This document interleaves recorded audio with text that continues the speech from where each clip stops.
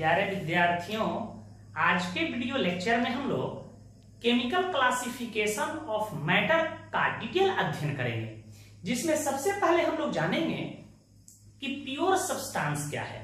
पिछले video lecture में हम बताए थे कि मैटर का केमिकल क्लासिफिकेशन जब करते हैं तो दुनिया का कोई भी मैटर होता है, उसको हम लोग दो वर्गों में बांटते हैं। पहले वाले को हम लोग कहते हैं प्योर सब्सटेंस या इसी को आप सब्सटेंस बोल सकते हो, जिसको शुद्ध पदार्थ कहते हैं और दूसरा को कहते हैं इम्प्योर सब्सटेंस या उसी को हम लोग मिक्सचर के नाम से जानते हैं। प्योर सब्सटेंस भी दो प्रकार के हो जाते हैं एलिमेंट एंड कंपाउंड्स एलिमेंट भी तीन प्रकार के हो जाते हैं मेटल नॉन मेटल मेटलवाइड्स और कंपाउंड को भी हम लोग दो वर्गों में बांट सकते हैं organic compound and inorganic compound तो चलिए हम इसका अध्ययन करें। सबसे पहले आप अपने कॉपी में हेडिंग दे दीजिएगा प्योर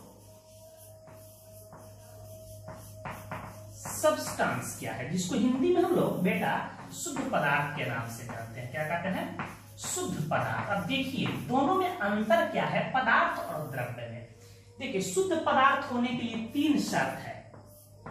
पहला बात कि द्रव्य का अवहरू यदि द्रव्य ही है, स्थान घेरेगा स्थान घेरेगा, इसमें द्रव्यमान होगा। ठीक है? तो द्रव्य का अवहरू जो केवल एक ही प्रकार के परमाणुओं से बना हो। जैसे लोहा है तो लोहा का एटम से बना है, सोना है तो सोना का ही परमाणु से मिलकर बना है, सोडियम है तो सोडियम के परमाणु से ही बना है चांदी है तो चांदी के ही परमाणु से बने हैं। तो दुनिया में जितने भी एलिमेंट होते हैं, वह एक ही प्रकार के परमाणुओं से बने होते हैं। तो पहला शर्त है कि द्रव्य का वह रूप जो एक ही प्रकार के परमाणुओं से बना हो। Made by made by same type of atom पहला शर्त है कि एक ही प्रकार के परमाणुओं से बना होना चाहिए। दूसरा शर्त है कि तत्वों के निश्चित अनुपात के संयोग से मिलकर बना होना चाहिए। ऐसा नहीं कि कुआँ का पानी लाएँगे, उसमें हाइड्रोजन और ऑक्सीजन का अनुपात कुछ अलग हो ठीक है कल का पानी निकालेंगे उसमें हाइड्रोजन और ऑक्सीजन का अनुपात अलग हो जाए। वर्षा का पानी यदि ले उसमें हाइड्रोजन और ऑक्सीजन का अनुपात अलग हो जाए। बिल्कुल यदि कोई यौगिक है दुनिया में उसका कोई केमिकल फॉर्मूला है तो उन, उनका अनुपात भी निश्चित होना चाहिए। और तीसरी शर्त है कि इनके अवयवों को या जिन चीज़ से मिलकर बना है उनके अवयवों को साधारण भौतिक विधियों द्वारा पृथक नहीं किया जा सके। जैसे जल जो बना है हाइड्रोजन और ऑक्सीजन के परमाणु से मिलकर बना है। तो ऐसा कोई भी फ़िज़िकल मेथड नहीं है कि हम हाइड्रोजन और ऑक्सीजन को अलग कर दें। ऐसा नहीं कि मुँह में लेते हैं पानी को तो जीभ से अलग हाइड्रोजन ऑक्सीजन को कर दें। कपड़ा से छान के हाइड्रोजन ऑक्सीजन को नहीं कर सकते हैं। ठीक है फ़िल्टर पेपर से भी छानेंगे तो हाइड्रोजन और ऑक्सीजन अलग नहीं होता। तो इसकी तीन शर्त है कि द्रव्य का वह रूप जो एक ही प्रकार के परमाणुओं से बने होते हैं, कमा, जो तत्वों के निश्चित अनुपात के संयोग से बने होते हैं, तथा जिनके अवयवों को साधारण भौतिक विधियों द्वारा पृथक नहीं किया जा सके, उसे शुद्ध पदार्थ कहा जाता है। एग्ज़ाम्पल के तौर पे हम यहाँ दे सकते हैं ऑल एलिमेंट ध्यान दीजिएगा ऑल एलिमेंट्स दुनिया में जितने भी तत्व तो दिखाई देते हैं, कुल तत्वों की संख्या भी 118 हो गया है। वह सब प्योर सब्सटेंस के एग्जांपल होंगे। एग्जांपल के तौर पर मैं दे दूँ आयरन आयरन इसका संकेत एफ़ ही होता है। इसको फेरम कहते हैं। इसका लाइटिनियम फेरम होता है, इसलिए संकेत एफ़ यूज़ करते हैं। सोडियम हो सकता है बेटा। सोडियम का संकेत आप जानते हैं एन हो सकता है। इसका लाइटिनियम नाइट्रियम होता है, इसलिए संकेत एन हुआ। सब बात आप जानते होंगे। पोटेशियम ले लें हम। पोटेशियम का संकेत के होता है, इसका लाइटिनियम कैलियम होता है जो आप जानते हैं। इसी प्रकार हम गोल्ड ले लें। गोल्ड जिसको सोना कहते हैं, इसका संकेत एयू होता है, उसका लाइटिनियम औरम होता है। कार्बन ले लें। कार्बन हम ले लें, इसका संकेत सी होता है ईटीसी तो जितना भी दुनिया में तत्व होंगे, इसके एग्ज़ाम्पल होंगे। क्योंकि यह एक ही प्रकार के परमाणुओं से मिलकर बना होता है। Made by same kind of atom same kind of atoms क्योंकि यह एक ही प्रकार के परमाणुओं से मिलके बने होते हैं। इसका और एग्जांपल हुए ऑल कंपाउंड्स दुनिया में जितने भी यौगिक होते हैं बेटा, वह हमारे प्योर सब्सटेंस के एग्जांपल होते हैं। जैसे हम एग्जांपल के तौर पे जल ले लू, जिसको हम एक्वा कहते हैं। एक्वा का मतलब पानी वाटर एच देखिए, ऐसे इसका साधारण अनुपात आप लिखिएगा रेशियो तो देख रहे हैं कि हाइड्रोजन कितना है? दो अनुपात एक है। ठीक है? हाइड्रोजन दो है तो मैंने दो लिख दिया ऑक्सीजन का अनुपात दो, अनुपात एक है। यदि इसके द्रव्यमान का हम अनुपात निकालें तो हाइड्रोजन का परमाणु द्रव्यमान से सिक्कियाँ हम भी पढ़ाएँगे। एक दशमलव ज़ीरो ज़ीरो आठ होता है तो एक मान लेते हैं। तो दो हाइड्रोजन है तो उसका अनुपात दो हो जाएगा। और ऑक्सीजन का परमाणु द्रव्यमान, सबको पता है कितना होता है बेटा? ऑक्सीजन का परमाणु द्रव्यमान सोलह होता है। तो दो अनुपात सोलह लिख दें इनके द्रव्यमान का अनुपात क्या रहा है? दो अनुपात सोलह। हम इसको और छोटा कर दें। दो एकम दो दो अठे सोलह। अर्थात एक अनुपात आठ। कोई पूछे कि जल में हाइड्रोजन और ऑक्सीजन के द्रव, परमाणु द्रव्यमानों का अनुपात क्या है? एक अनुपात आठ, और इनके साधारण अनुपात कोई पूछे तो दो अनुपात एक यदि दुनिया में कोई भी जल ले लो, समुद्र का जल ले लो, कुआँ का जल ले लो, तुम हाइड्रोजन, ऑक्सीजन की अभिक्रिया करा के जल बना लो, वर्षा का पानी ले लो, उसमें हाइड्रोजन और ऑक्सीजन का जो अनुपात होगा, एक अनुपात आठ होगा। हाइड्रोजन और ऑक्सीजन के परमाणु द्रव्यमानों का जो अनुपात होगा, एक अनुपात आठ होगा। सरल अनुपात दो दशमलव एक, दो अनुपात एक होगा। इसमें कोई बदलाव नहीं होने वाला है। अर्थात यह तत्वों के निश्चित अनुपात से मिलकर बने होते हैं। इसी प्रकार मैं सीओ टू ले लू। कार्बन डाइऑक्साइड साधारण अनुपात कोई पूछे तो कार्बन एक है। एक अनुपात दो आप लिख सकते हो। ऐसे द्रव्यमानों का अनुपात पूछे तो कार्बन का परमाणु द्रव्यमान बारह होता है। ऑक्सीजन का सोलह सोलह दुनी की बत्तीस।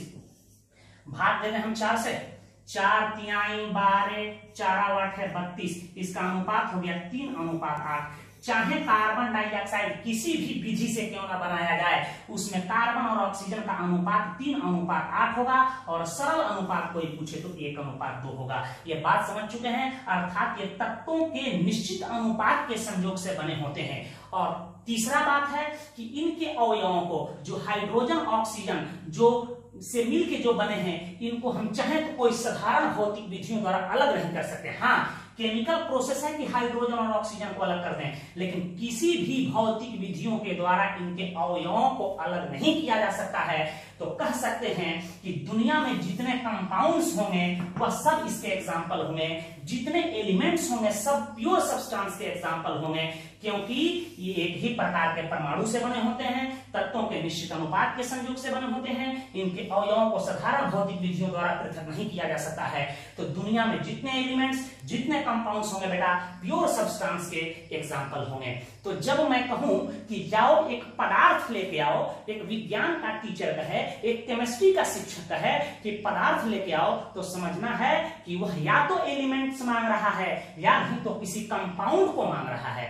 ठीक है? बोलचाल में पदार्थ रहे तो समझना है कि किसी वस्तु का डिमांड हो रहा है। लेकिन एक केमिस्ट्री का शिक्षक कहे कि प्योर सब्सटेंस लाओ तो आप या तो एलिमेंट उसको दीजिएगा या कंपाउंड दीजिएगा। तो एक बात से स्पष्ट है कि दुनिया के सभी मैटर प्योर सब्सटेंस नहीं हो सकते हैं। जैसे मैं कहूँ कि यह थर्मस, यह एक मैटर है क्योंकि स्थान घेरता है, ठीक है? स्थान घेर रहा है। और इसमें द्रव्यमान है, परंतु यह प्योर सब्सटेंस नहीं है। कह सकते हैं क्योंकि ना तो यह एलिमेंट्स है, ना ही यह कंपाउंड्स है।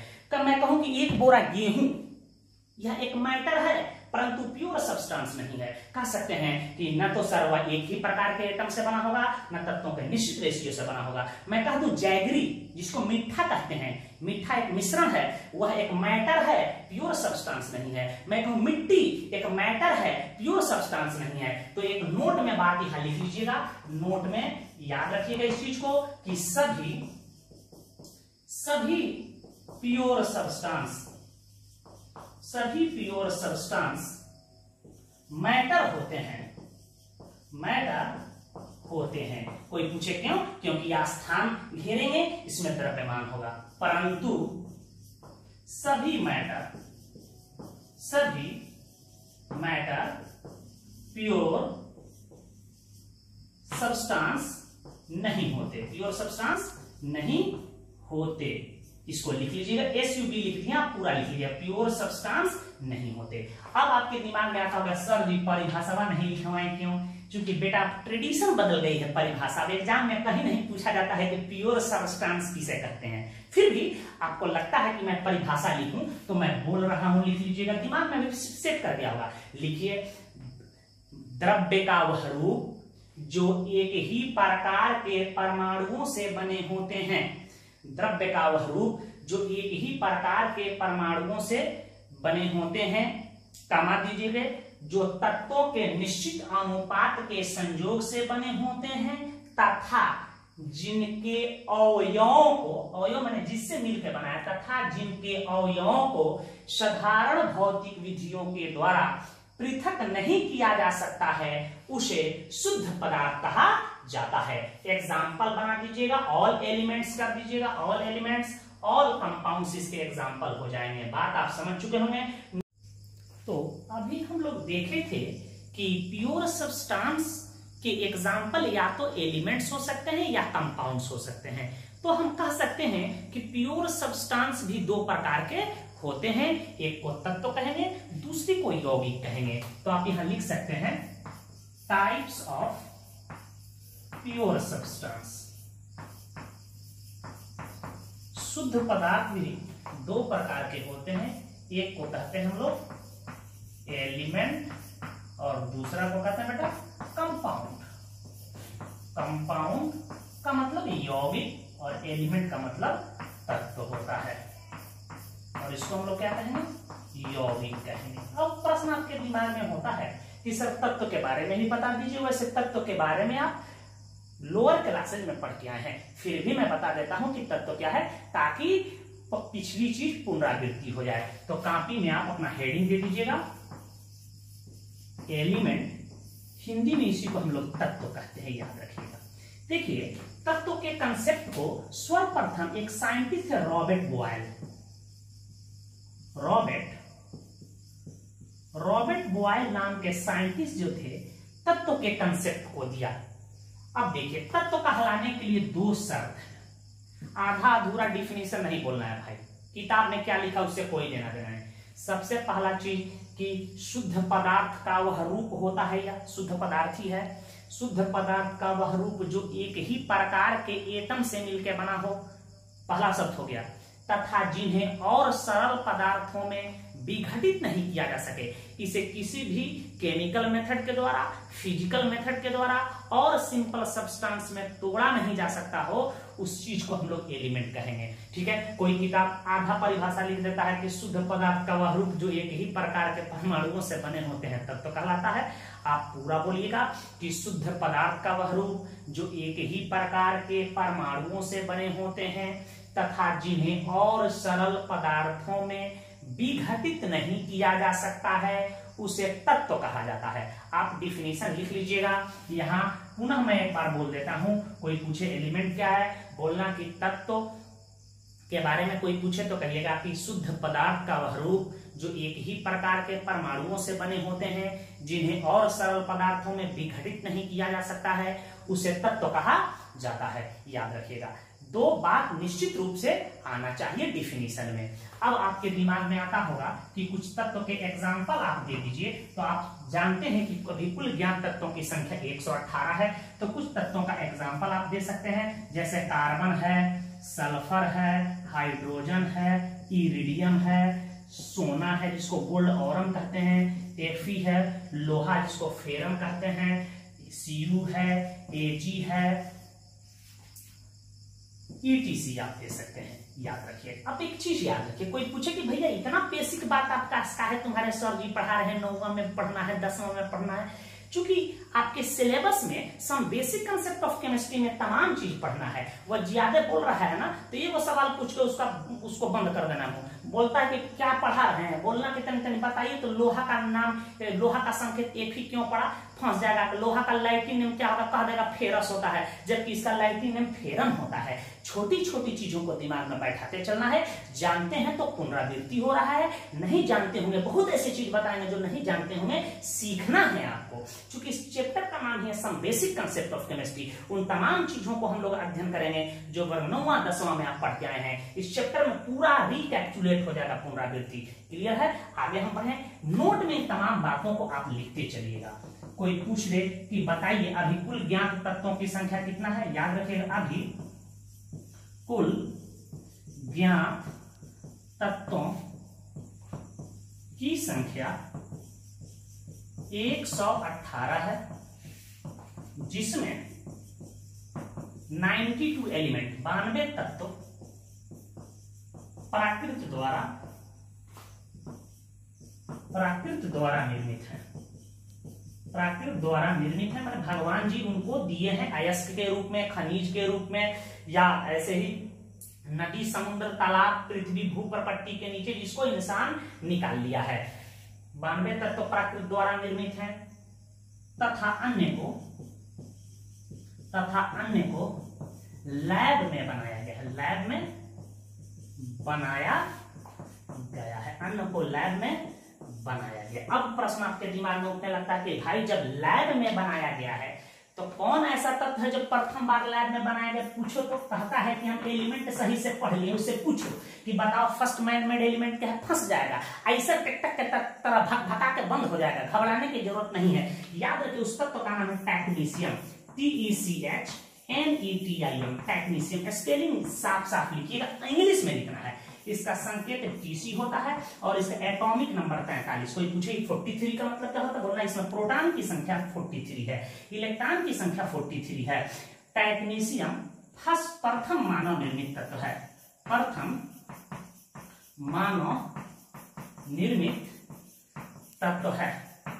टेक्नीशियम का मतलब ये होता है सिंथेटिक या आर्टिफिशियल एलिमेंट याद रखिएगा टेक्नीशियम प्रथम मानव निर्मित तथ्य है। ऊपर वाले चीज़ को हम मिटा रहे हैं स्क्रीन शूट आप लेते चलिएगा, ताकि आपको कहीं दिक्कत नहीं हो। अब प्रश्न उठता है कि 118 तत्वों में सबसे भारी कौन, सबसे हल्का कौन? तो इसको भी आप नोट में लिखते चलिएगा। हाइड्रोजन का तो नाम सब लोग सुने ही है। हाइड्रोजन, इसका संकेत एच होता है। यह एटम के फॉर्म में एच टू लिखाएगा वो हाइड्रोजन, गैस है वह अणु के फॉर्म में है। तो आगे सब चीज़ की चर्चा हम लोग करेंगे। एटम क्या है? मॉलिक्यूल क्या है? अंतर क्या है दोनों में? दोनों में रिएक्टिव कौन है? एच और एच टू में अंतर क्या है? टू एच और एच टू में अंतर क्या है? घबराने की बात नहीं, हर चीज़ को सीखेंगे। परंतु आगे हम लोग बढ़ते चलेंगे धीरे धीरे वहाँ सीखेंगे। घबराने की ज़रूरत नहीं है। हाइड्रोजन प्रथम सॉरी हाइड्रोजन सबसे हल्का सबसे हल्का तत्व है। तथा यूनिवर्स में यूनिवर्स जिसको ब्रह्मांड कहते हैं, में सर्वाधिक सर्वाधिक मात्रा में पाया जाता है। और आपको पता है कि हाइड्रोजन गैस अत्यंत ज्वलनशील गैस होता है और हाइड्रोजन गैस का कैलोरीफिक वैल्यू उष्मीयमान सबसे अधिक होता है। आपको हम बताए होंगे, जब आपको हम पढ़ाए होंगे गैस वहाँ, क्लियर है? और दूसरी चीज़ याद रखिएगा इरिडियम एक तत्व है, यह धातु है दरअसल इरिडियम इसका संकेत बेटा होता है आई आर सतहत्तर, का घनत्व, का डेंसिटी लिखना। डेंसिटी सर्वाधिक होता है। सर्वाधिक होता है, सर्वाधिक होता है, अर्थात सबसे भारी होता है, सबसे भारी होता है। हिंदी थोड़ा देखते रहेगा बड़ा हिंदी हमारा मज़बूत है। आप समझ चुके हैं मज़बूत होने का मतलब क्या है। सर्वाधिक होता है, अर्थात सबसे भारी होता है। कुछ किताबों में, पुराने किताबों में ओस्मियम लिखा होगा। क्योंकि प्रयोग से पता चला है कि ओस्मियम से भी ज़्यादा घनत्व तो इरिडियम का होता है तो यदि इरिडियम ऑप्शन में दिया हो तो इरिडियम पर ही टिक लगाना है, नहीं दिया हो तो ओस्मियम पर टिक लगाना है। अब प्रश्न उठता है कि, सर जी, एक और बात बताइए कि भू पर पट्टी पर इस पृथ्वी पर कौन ऐसा तत्व है जो सबसे अधिक मात्रा में पाया जाता है? इसको भी जानकारी लेगा पूरी ब्रह्मांड की बात किया जाए तो हाइड्रोजन सबसे अधिक मात्रा में, ग्रह में, तारों में, सितारों में, सूर्य में पृथ्वी आसमान, ज़मीन सारे मिला दिया जाए तो सबसे अधिक इसका कौन पाया जाता है? हाइड्रोजन। पृथ्वी की बात करें इसको हम लोग कहते हैं भू परपट्टी भू परपट्टी जिसको अंग्रेज़ी में हम लोग कहते हैं अर्थ क्रस्ट भू परपट्टी पर सर्वाधिक मात्रा सर्वाधिक मात्रा में ऑक्सीजन पाया जाता है। ऑक्सीजन पाया जाता है। भूप्रपट्टी की बात की जाए अर्थ क्रस्ट पे तो सर्वाधिक मात्रा में पाए जाने वाला कौन तत्व? है ऑक्सीजन है, याद रखिएगा। और वायुमंडल में ऑक्सीजन गैस इक्कीस प्रतिशत पाया जाता है। कितना पाया जाता है, उसको बता रहे हैं। कौन कौन से तत्व होते हैं जो पाए जाते हैं, उसको याद रखिएगा। ऑक्सीजन सबसे अधिक पाया जाता है, लगभग छियालीस पॉइंट छह प्रतिशत बायोवेट वज़न के हिसाब से। उसके बाद पाया जाता है सिलिकॉन, लगभग सत्ताईस पॉइंट सात प्रतिशत बायोवेट उसके बाद उससे कम पाया जाता है, उससे अल्प मात्रा में पाया जाता है। एक धातु है जिसका नाम है एल्यूमिनियम थ्री, एट दशमलव थ्री प्रतिशत बायोवेट उससे कम लोहा पाया जाता है, चार पॉइंट सात प्रतिशत बायोवेट उसके बाद कैल्शियम पाया जाता है, अप्रोक्स या तीन दशमलव छह प्रतिशत होता है। उसके बाद सोडियम है, पोटेशियम है, मैग्नीशियम। तो उसकी प्रतिशत अब रखने की कम से कम आपको आवश्यकता नहीं है। By weight. तो इस चार से भी प्रश्न पूछे जाते हैं। तो इसको नोट में बना लीजिएगा ताकि आपको याद है। कोई पूछ दे कि भू पर पत्ती पर सर्वाधिक मात्रा में पाए जाने वाला तत्व कौन है तो ऑक्सीजन सर्वाधिक मात्रा में पाए जाने वाला अधातु भी पूछे तो ऑक्सीजन होगा क्योंकि ऑक्सीजन एक अधातु है। उसके बाद कोई पूछे, दूसरा तत्व तो कौन होता है? तो सिलिकॉन, या उपधातु है सिलिकॉन। तो कहते कि भू पर पट्टी पर सर्वाधिक मात्रा में पाए जाने वाला उपधातु कौन है? तो सिलिकॉन होगा। यह बार बार बोर्ड एग्ज़ाम में पूछे गए हैं कि भू पर पट्टी पर सर्वाधिक मात्रा में पाए जाने वाला धातु का नाम बताइए तो एल्यूमिनियम। ठीक है? दूसरा धातु कौन है? तो इसका नाम है लोहा फेरम चार पॉइंट सात प्रतिशत होता है। तो कम से कम ये चार आपको याद होना चाहिए। इसके बाद कैल्शियम होता है, सोडियम होता है, पोटेशियम, मैग्नीशियम।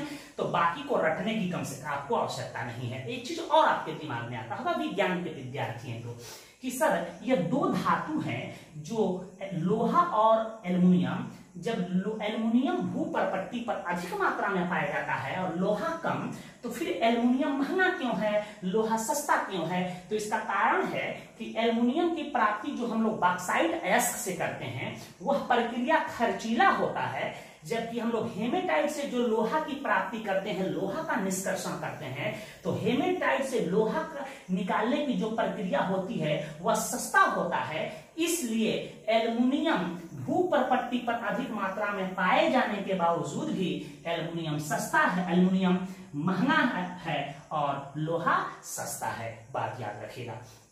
एक चीज़ और जानकारी के लिए बता दें ह्यूमन बींग्स जो इंसान होता है, सबसे अधिक अपने दैनिक जीवन में यूज़ करता है वह मेटल है लोहा। लोहा के बाद यूज़ करने वाला दूसरा मेटल है कॉपर याद रखिएगा, कई बार एक कंपटीशन में पूछे गए रेलवे एस में कि सर्वाधिक मनुष्य के द्वारा यूज़ होने वाला धातु कौन है? लोहा है और दूसरा है कॉपर। एक चीज़ और जानकारी के लिए मैं बता दूँ कि ये पूरी ह्यूमन बॉडी जो दिखाई दे रहे हैं, इसमें सबसे अधिक मात्रा में कौन तत्व तो पाया जाता है? तो ऑक्सीजन लगभग इकसठ प्रतिशत, और उसके बाद होता है कार्बन। जो हमारी शरीर लगभग तेईस प्रतिशत कार्बन से बनी होती है। उसके बाद हाइड्रोजन होता है उसके बाद नाइट्रोजन ऑक्सीजन सोडियम मे, metal potassium metal zinc iron आदि से मिलकर ही पूरी ह्यूमन बॉडी बनी हुई है। याद रखिएगा। तो कोई पूछे कि ह्यूमन बॉडी में सर्वाधिक मात्रा में कौन एलिमेंट पाया जाता है तो ऑक्सीजन। दूसरा पूछे तो कार्बन। ये कंपटीशन में पूछे जाते हैं। धातु में एलिमेंट पढ़े थे लेकिन आप ऐसे नहीं पढ़े थे। एक और चीज़ जानकारी के लिए याद रखिएगा। जिस तत्व का परमाणु संख्या बेटा सौ से अधिक होता है, एटॉमिक नंबर, उसको सुपर हेवी एलिमेंट कहा जाता है। जैसे मेरा एटॉमिक नंबर सौ से अधिक हो जाए तो कहिएगा, सर, आप सुपर हेवी एलिमेंट है। तो नोट में लिख लीजिएगा कि जिस तत्व का, जिस तत्व का एटॉमिक नंबर एटॉमिक नंबर को हिंदी में हम लोग कहते हैं परमाणु संख्या। किसी भी तत्व में उपस्थित प्रोटॉन की संख्या को परमाणु संख्या कहते हैं। जिस तत्व का एटॉमिक नंबर सौ से अधिक होता है। सौ से क्या होता है बेटा? अधिक होता है।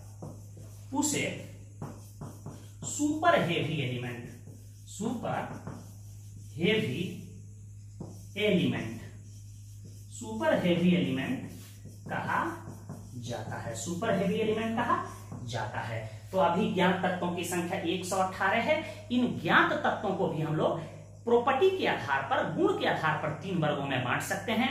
मेटल नन मेटल और मेटल वायर्स जिसकी चर्चा हम लोग नेक्स्ट वीडियो लेक्चर में करेंगे, जो आप मैट्रिक में पढ़ के आए हैं, धातु, अधातु और उपधातु।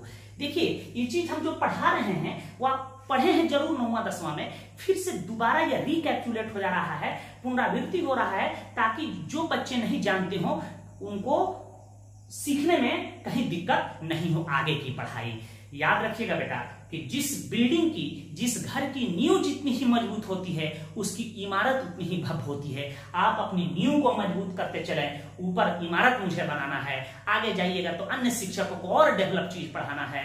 तो हम लोग ऐसे पढ़ेंगे कि नौवा, दसवां में जो चीज़ चैप्टर हम पढ़ के आए हैं, वह पुनः रिपीट भी हो जाए और अपनी हम सिलेबस को भी पढ़ लें। हम लोग नेक्स्ट वीडियो लेक्चर में मेटल नन मेटल मेटलॉइड्स के साथ मिलेंगे। धन्यवाद।